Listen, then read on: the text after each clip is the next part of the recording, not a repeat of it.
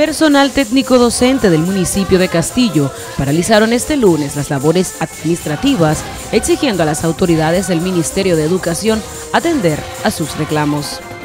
La actividad estamos vestidos de negro en rechazo a la ordenanza 62-2018 que manda a los técnicos interinos, los cuales tienen más de cinco años en los distritos educativos lo manda a los centros educativos de origen de donde vienen.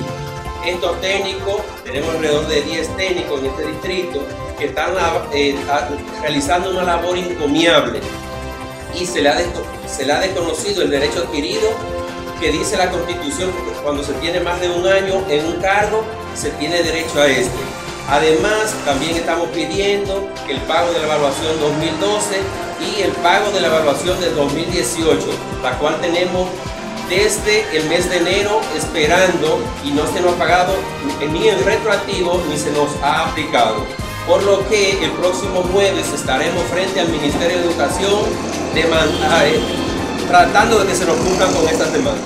Al punto que consideran persecución y maltrato a los técnicos docentes para NTN, su noticiero regional, Joanny Paulino.